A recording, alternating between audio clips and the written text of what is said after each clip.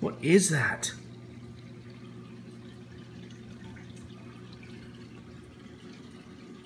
Just flooded my tank with it.